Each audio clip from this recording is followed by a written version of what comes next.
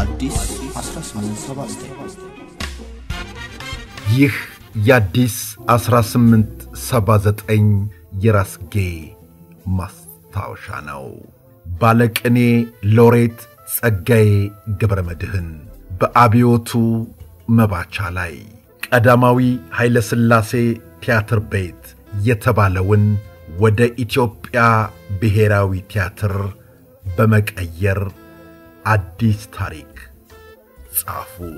ባለቅኔ ሎሬት ጸጋዬ ገብረ መድኅን የቲያትር ቤቱን ስያሜ ካስቀየሩ በኋላ ከበርካታ ወጥ ተውኔቶቻቸው አንዱ የሆነውን በኢትዮጵያ ብሔራዊ ቲያትር ለማሳየት ልምምድ አስጀመሩ።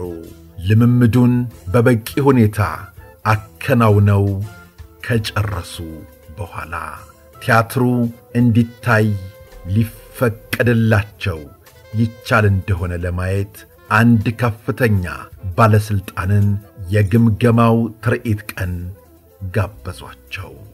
ባለሥልጣኑ የሎሬትን ታሪክ ለመመልከት ከፊት ተቀምጠዋል። አጠገባቸው ደግሞ የሳንሱር መቀሱን የያዙት ኃላፊ ቁጭ ብለዋል።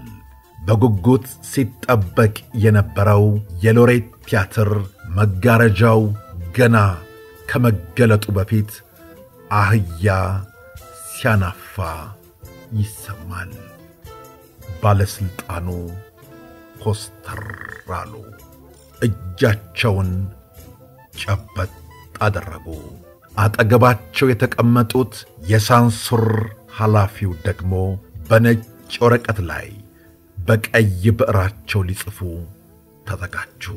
ባለሥልጣኑ ግን ውሳኔ ወዲያው ወሰኑ።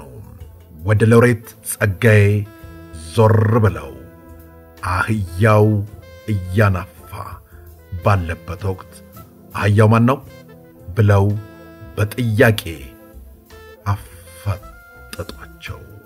ሎሬት ጸጋዬ ዐይናቸው ወደ መድረኩ አተኩሮ ባለሥልጣኑን ለማሳመን አይ ጌታዬ ብለው መናገር ጀመሩ። ይህ እኮ ድርጊቱ የሚከናወንበትን ጊዜና ሁኔታ ለመጠቆም የገባ ነገር ነው በማለት ባለሥልጣኑን ለማሳመን እጃቸውን እያወራጩ ነገሯቸው። ባለሥልጣኑ ግን ንግግራቸውን አልተቀበሉትም። ሎሬት ጸጋዬ ግን የባለሥልጣኑ ሁኔታ ገና ቲያትሩ ሳይታይ እግድ እንደሚጥሉበት ስለገባቸው ጌታዬ በግድ ይህ መሆን የለበትም ብለው ለማረጋጋት ሞከሩ። ቲያትሩ ገና ከጅምሩ ማዕቀብ ሊጣልበት ሆነ። የዚህን ጊዜ ሎሬት ጸጋዬ ጌታዬ፣ አህያው ካልተመቾ ወፎች ሲንጫጩም ማድረግ ይቻላል በማለት የማስተካከያ ሐሳብ ሰጧቸው። ባለሥልጣኑ ከተቀመጡበት ብድግ ብለው ተነሱ። የሁለቱን ንግግር ይመለከቱ የነበሩት የቲያትር ቤቱ ኃላፊዎች ቲያትሩን እንዲቆም አደረጉት። ከዚያም ንግግሩ ቀጠለ። ባለሥልጣኑ ወፎች ማድረግ ሲንጫጩም ማድረግ ይቻላል የሚለው ንግግር አብከንክኗቸው ማንን ድንቢጥ ለማለት እንደፈለግ ያልገባኝ እንዳይመስልህ በማለት እዚያው ቲያትሩ እንዳይታይ ለመድረክም እንዳይበቃ እግድ ጥለውበት ወጡ። ለወራት የሰለጠኑት ተዋናያንም በስሜት መድረክ ላይ ለመውጣት እንዳኮበኮቡ ምንም ሳይሉ አህያው እንዳናፋ እነሱም መድረክ ላይ ለመውጣት ወረፋ እንደያዙ ምንም ሳያረጉ ቲያትሩ በዚያው ለመድረክ ሳይበቃ ቀረ።